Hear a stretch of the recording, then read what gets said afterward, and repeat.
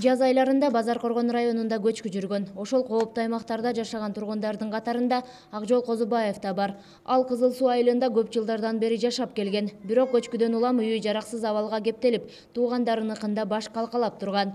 Жер тилкелери берилер замат үйүнүн пайдубалын куюп дубалдарын тургузуунун аракетин көрүүдө. Бүттүк суу куюп үйдүн цементтерин куюп бүттүк ушу эми бир эки күндө кирпич сирпичи келсе анан дубалды баштайбыз деп турабыз.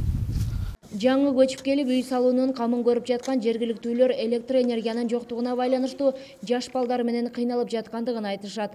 Буга байланыштуу эртерээк жарык маселесин чечип берсе деген үмүттө анткени көпчүлүк тургундар суук түшкөнчө үйүн бүтүрүп кирүүнү пландоодо эми бизге свет алып келип берсе жакшы болот эле свет эң зарыл адамдын көзүдөй свет. Анан эмне жерге суу алып келсе көчөт эгет элек мына ушул жерибиз бүтүп атат. Кудай кааласа ушул айдын акырына же сентябрга бүтөт деп аракет кылып атабыз. Учурда тургундардын жашоо шартын жакшыртуу боюнча жергиликтүү бийлик тарабынан суу маселеси чечилүүдө. Райондогу мамлекеттик мекеме ишканаларынын кызматкерлери топ топко бөлүнүп орто сай айылындагы кароосуз калган арыкты суу жеткирүү максатында тазалап жатышат.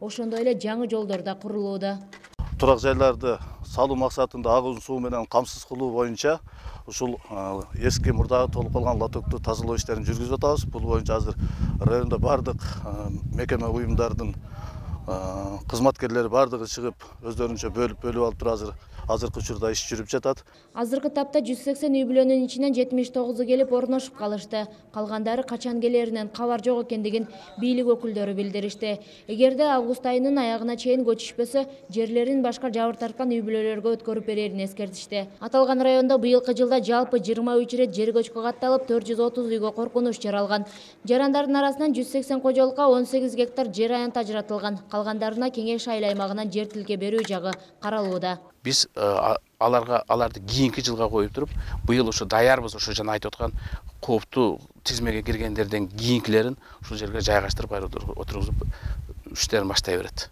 жаңы конуштагы электр энергиясы жана суу маселеси жакында чечилээрин тийиштүү адистер ырасташты.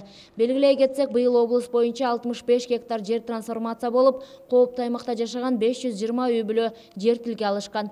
Сузактан үч жүз сексен кожолук базар коргондон жетимиш тогуз жана майлуу суу шаарынан алтымыш бир үй бүлө көчүрүлгөн. Учурда облуста жалпы жер көчкү коркунучунда жашаган бир жарым миңдей үй бүлө бар. Кылымжан азамат кызы шайыр зайырбек уулу ынтымак нокен району